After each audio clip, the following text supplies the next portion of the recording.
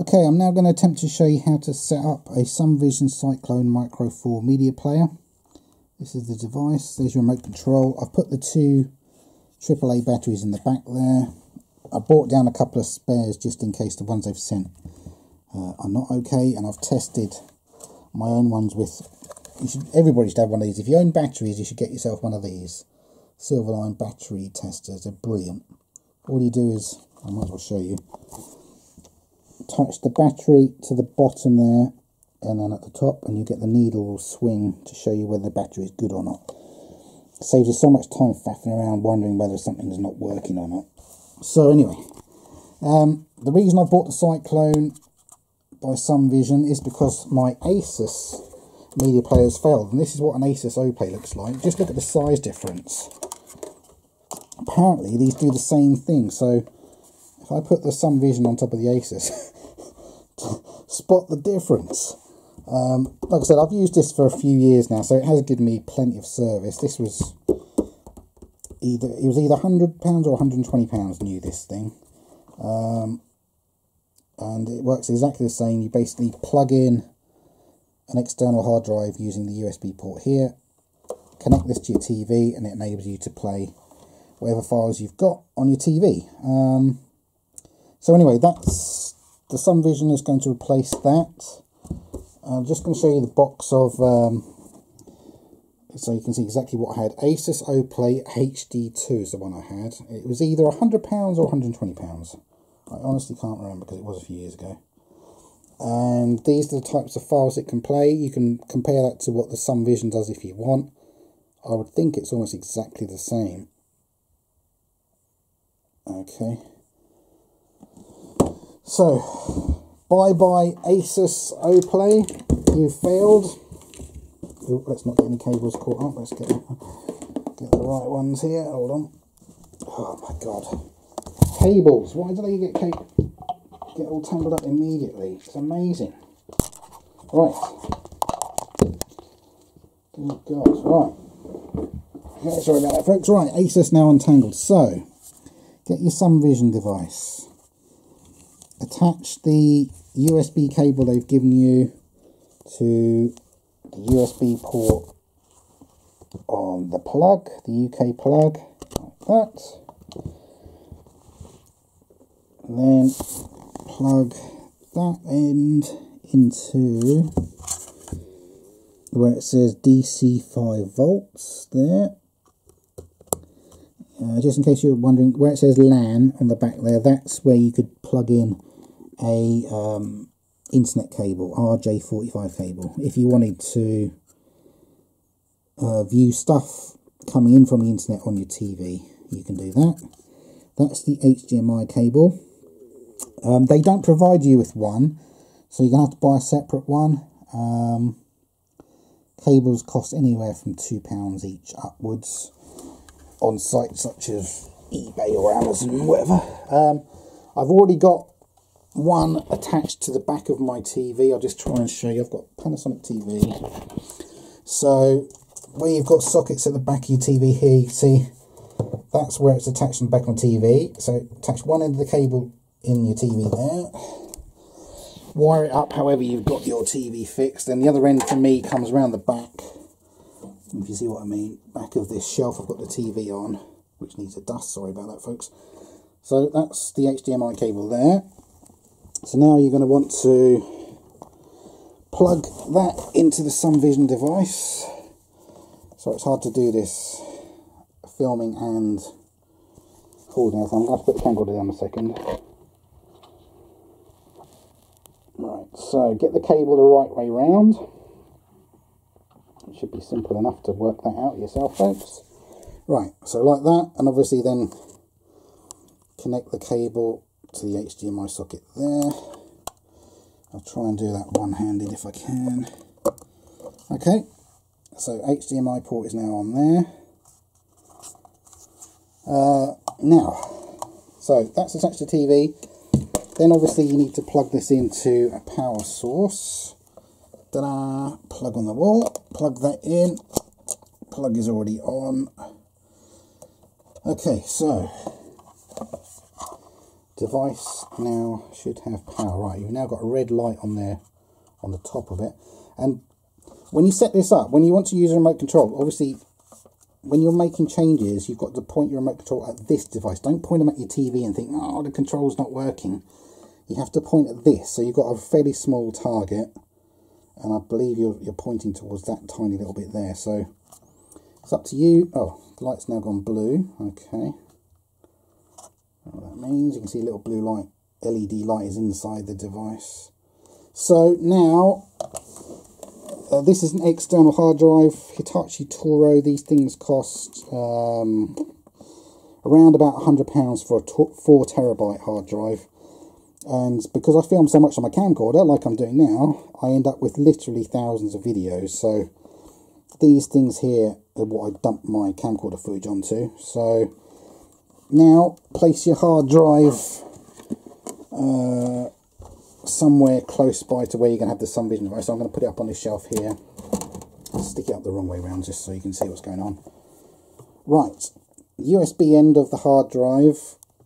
I'm now going to attach to the Sumvision device. Okay, so obviously get that the right way around and attach that. So hard drive attached to the Sumvision now. And then obviously, now I've got to find the cable for the um, Hitachi hard drive I'm using. So here it is. And now, uh, it's a very good idea to write, uh, put you know, put a piece of paper on every plug you've got and write what they are. It makes it so much easier to work out stuff, or else you end up with loads of plugs and you don't know which one's which. So do that. Put a piece of paper on there, stick it down with sellotape. I've called this one HD hard drive for media player. And again, plug in the hard drive. So hard drive should now have power. Yeah, it's got a blue light. So for now, whoa, nearly dropped it. I'll stick that up there. So hard drive is there. Sumvision, as you can see, Sumvision is now attached to the hard drive. Sumvision is attached to the TV through the HDMI cable, and Sumvision has power. Okay. That's pretty simple. I'll stick the Sumvision up there just for now. I can get it to stay. Uh, you're probably going to want to, I don't know, find a way to hold it in place if it doesn't stay in place. Right, so now I'm going to switch on my TV on the side.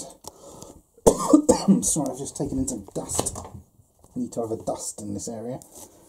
Okay, next thing to do. Let's get my TV remote control. Um, okay. So with your TV remote control what you normally do go to the AV button. Uh, what am I doing probably pointing at the wrong place Oh, there we go. Right, so press the AV button, then you get a choice of selections. Normally for me it's it's the HDMI 2. That's the particular socket on the back of my TV. It could be HDMI 1 for you. So da da da da. Um, now what? Is that device on? So let's see. I'm now going to push the, the power button on the Sumvision. See if anything changes with that.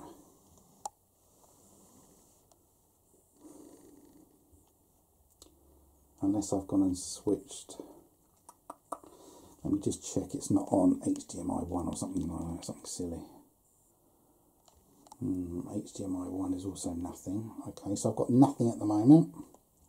I'm pretty sure, let me I'll use my TV remote control, power up my Virgin Media box just to check HDMI 1 is, if you like, my, my paid for TV channels if they ever come on. God, I'm pressing AV just to check. Okay, come on. Why are you being such a pain when I'm trying to make a video for people?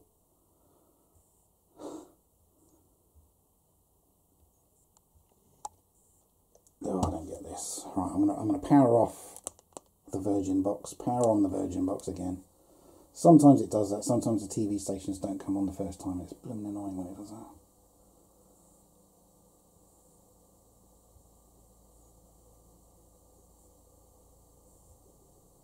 Oh my god, why? Why does this happen to me?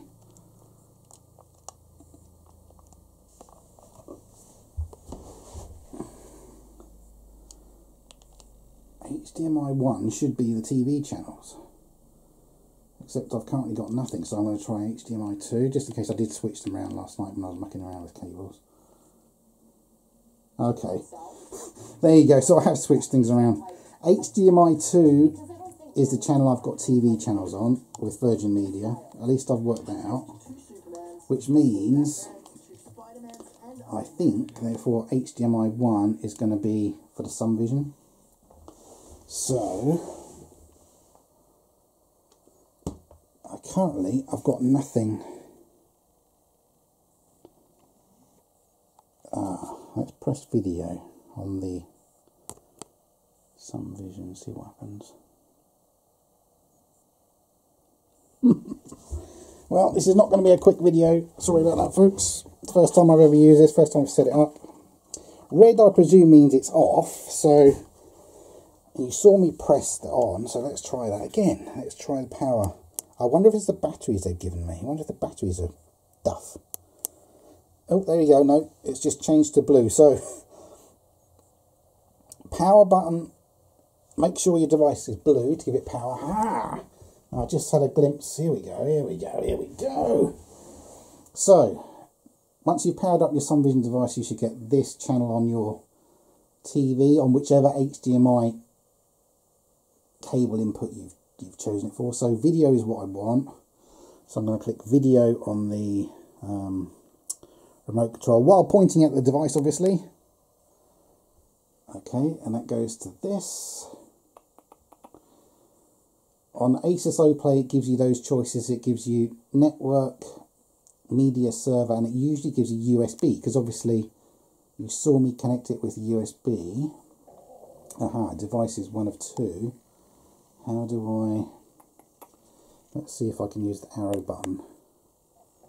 I need to find the USB input, don't I? Yes, I do.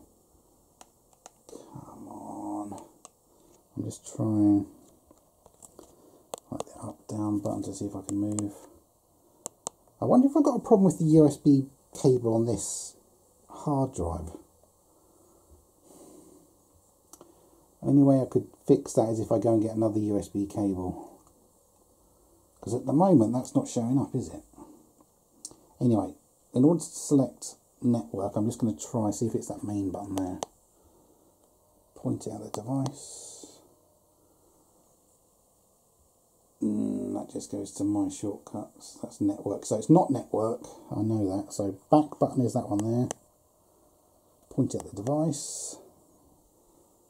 Okay, so I'm wondering whether I've got a problem with the USB cable on my hard drive.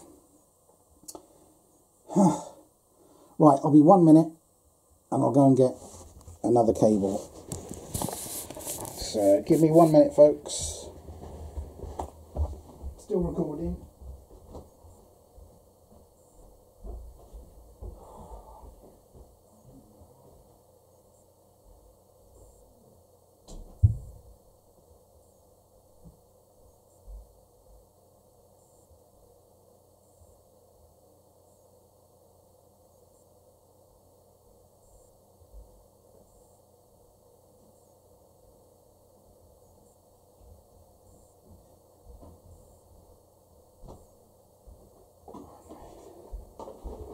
Right, I'm back already. Just gone and got another identical external hard drive. Yeah, the boxes they come in like that. Like I said, they're about £100, sometimes £120 for a 4 terabyte hard drive. So all I'm going to do is take the USB cable off this hard drive and switch it with the one that I've got installed on that one in case I've got a bad cable. So just give me a second while I do that. So I've got to disconnect it from the hard drive and from the Sumvision box, which is a bit of a pain. And then attach the new one. Okay. You saw me attach it before, so I'm not going to bother filming that again.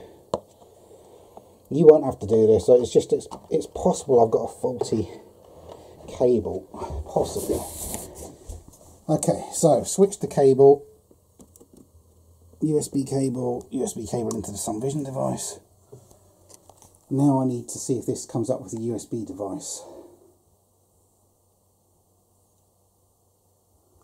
If it doesn't, I don't know what's going on basically, and I'll stop this video and make a new one.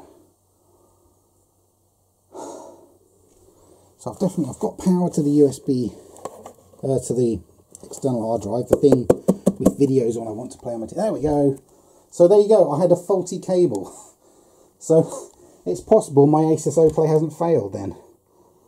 Typical, isn't that typical? I've just gone and bought a new device and all it was was a faulty USB cable. Anyway, right.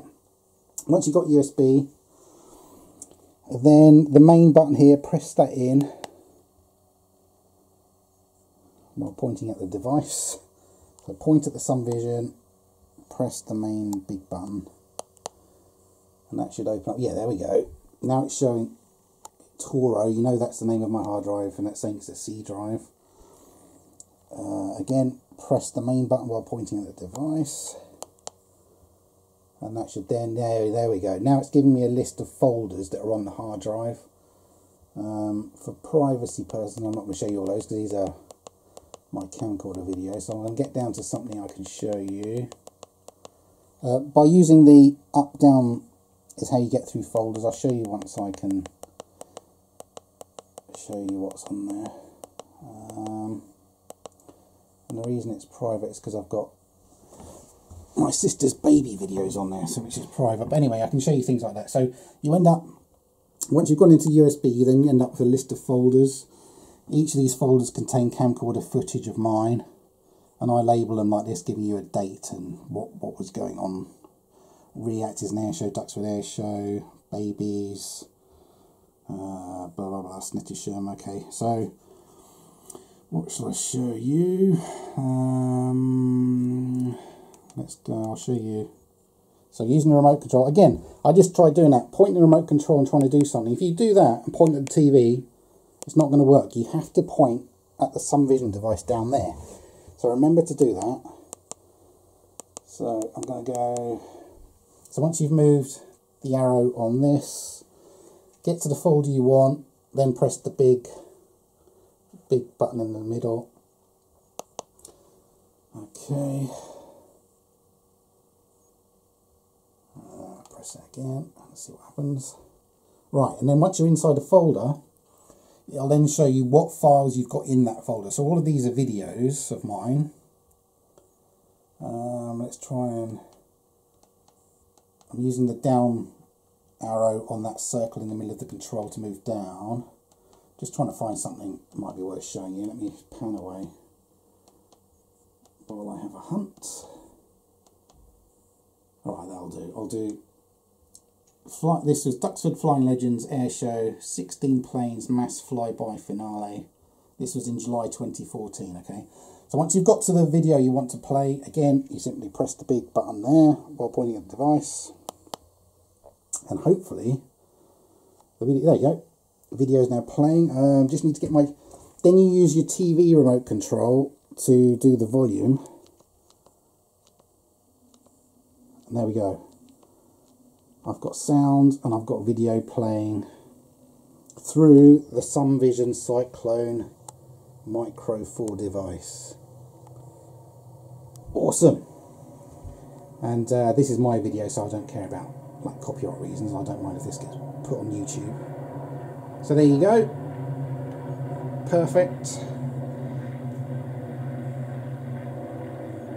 Alright, and now, and then to stop a video, remote control, stop button, point at the device, and it stops. And there we go. So that's how to set up um, a Sumvision Micro, uh, sorry, Sumvision Cyclone Micro 4. So basically, HDMI cable to the back of your TV into the device. Uh, you attach an external hard drive using USB port on the micro device here, and obviously you then got to have the power uh, plug attached to the Sumvision and you've also got to have power to the hard drive. So all this device does basically is act, act as a bridge between hard drive and your TV. It This device enables anything you've got on a hard drive to be played on your TV. And you saw the list before, there's all kinds of different formats videos come in from the internet. Typically, most people are only going to deal with four or five different types of endings, MKV, MP4, AVI, things like that. But once you've got a camcorder, you're going to end up with a whole load of other um, endings, and it can get quite confusing. There's there's a couple of dozen different endings I end up using. So anyway, uh, and also of course, if you don't have stuff on a hard drive, you can plug in um, an SD card into the USB port by using um, an SD card reader, uh, something like an in integral uh, device, which looks like a little white stick you stick the SD card into that and you can play videos off an SD card on your TV again. So there you go. I hope that's helped you understand how to set one of these up. It didn't take me too long. Mean, the only difficulty was obviously I had a faulty USB cable, so which is rather annoying because I suspect therefore there's nothing wrong with my Asus OPlay, so I didn't have to go and shell out that money for this um, Sumvision device. That is bloody annoying, pardon my French. Oops. Um, so anyway, thanks for watching. Any questions, leave me a question. Click like if you like that. Uh, subscribe to me, look at my other videos. Thanks for watching. Bye-bye.